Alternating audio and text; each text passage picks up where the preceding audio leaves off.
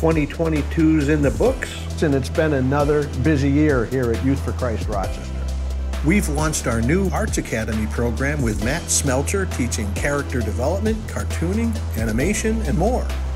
Lakeysha Evans took over our Proverbs 31 Girls program for middle school girls and completed our second and started our third full six month course. Coach Felix has been busy in the gym. In addition to our weekly programs, he's added a four week summer basketball camp with the support of ESL and Rochester Area Community Foundation.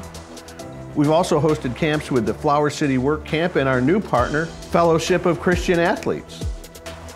We're making an impact against the long-standing curse of fatherlessness in Rochester. All year we've been blessed to gather regularly for the Fatherhood Initiative Roundtable. We held our third Fatherhood Initiative conference. Together we're learning how to mentor young boys and men and help guide them to their purpose in Christ. Our city is in crisis. The chronic cultural problems we face can feel overwhelming at times. But by the grace of God, every day we see evidence that Youth for Christ is making a difference. Coach Felix and Lakeysha joined me on my radio show just the other day to recap the year. Was there a, a significant encounter with a kid that was just extra special for you this year that uh, you could share with us? Absolutely.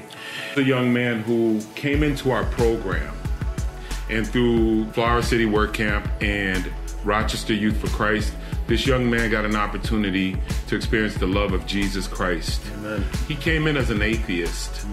He was upfront about it. He said, I was an atheist. I didn't believe in God. And I'm sorry, I get a little emotional. I know but, you do. uh, but he came in and he gave his he gave his life to the Lord.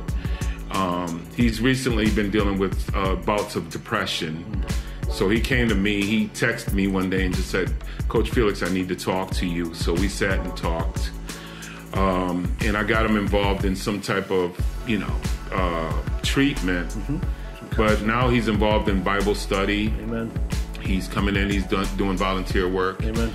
And he's getting there. It's on track. He's on the track. right track. He's on the right He's getting, he's, he's on track. by connecting with uh, with Youth for Christ and Coach Felix.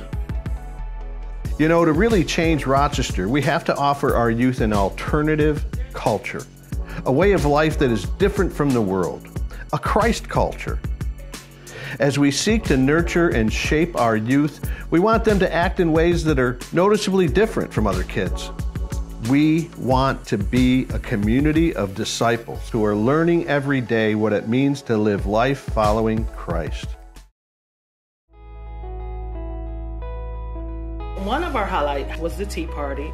Um, the girls were very excited. They got to dress up, wear their dresses, their fascinators, which are like hats. And we taught an etiquette class before lunch, and the girls learned how to sit with their dresses on, and they learned how to stir they, their tea without spilling it, which fork goes with the salad, with the dinner. And I think that, you know, we use practical things like manners and etiquette, but it's really about, you know, how to present yourself as a young lady. Yep, that's exactly what it is. That's what makes our girls stand out.